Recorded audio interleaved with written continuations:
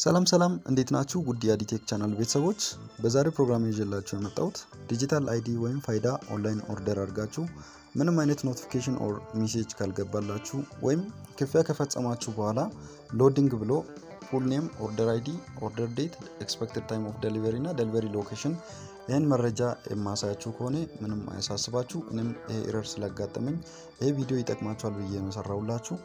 እንግዲህ ከላይ እንደምትመለከቱት ክፍያ ከፈጸምኩ በኋላ success your card print request has been successfully completed ብሏል። ነገር ግን እዚህ ጋር ከታች full name፣ order ID፣ order date፣ expected time of delivery እና delivery location ይህን መረጃ display ማድረግ ነበረበት። ነገር ግን ምንም መረጃ አያሳይም loading ብሎ ጸጥ አለ። then ሊንኩን ይዤ ደጋግሜ ብሞክርም ይህን መረጃ ላገኝ አልቻልኩም ማለት ነው። ከታች ስልክ ቁጥር አለው 9779 ላይ ደጋግሜ ሞክሪያለው ግን ላገኝ አልቻልኩም።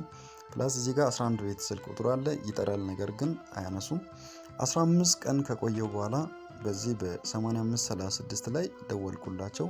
then online order ያደረኩበት ስልክ ቁጥርና ስምን ጠየቁኝ፣ ነገርኳቸው። ዘንድ ወዲያውኑ ከኢትዮ ፖስት message ገባልኝ ማለት ነው። የገባልኝ message ላሳያችሁ።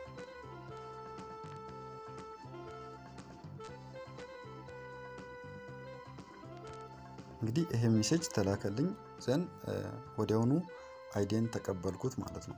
እናንተም እንዲህ አይነት error ካጋጠማችሁ በዚህ በዚህኛው ቁጥር 8536 ላይ contact በማድረግ መረጃ ማግኘት ትችላላችሁ።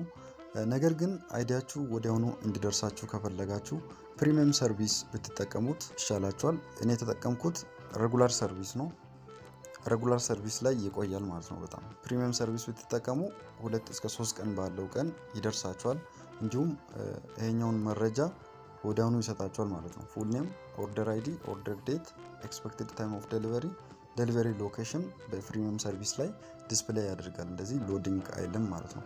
so ይሄ ቪዲዮ ከጠቀማችሁ like፣ subscribe ማድረጋችሁ እንዳትረሱ። ይመቻችሁ።